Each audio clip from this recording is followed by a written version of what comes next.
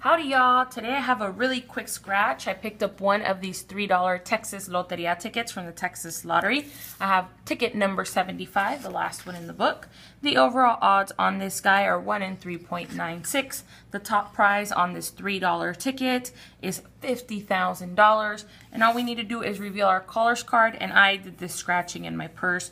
So just ignore that. Um, reveal the caller's card and if we can find the symbols down here, we try to match them up there. Any completed rows, columns, or diagonals will win us the corresponding prize. So let's see how we do. Lizard, wheel, covered wagon, and armadillo are our first ones. So let's see. Lizard, we got him right here.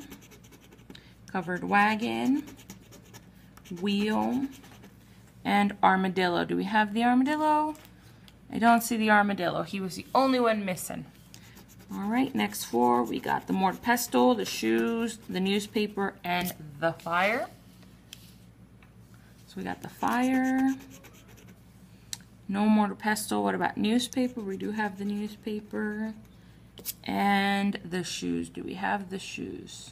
And the shoes up in this little corner. All right, excellent. Let's go ahead and pull up our next ones. The hen, the spear, the cowboy hat, and the oil rig. We have the spear. So we got a $3 winner for sure here. Do we have the hen? I don't see the hen. The oil rig? No oil rig. What about the cowboy hat? We do not see the cowboy hat. So let's pull our last two symbols. We have the saddle and the horse. Let's see how we do with the saddle and the horse. Saddle and no horse. So based on what I'm seeing, it looks like we got ourselves a $3 winner, which means we got a break even on this $3 Texas Loteria. Thank you guys so very much for watching. Please don't forget to like, subscribe, comment, and share. Bye.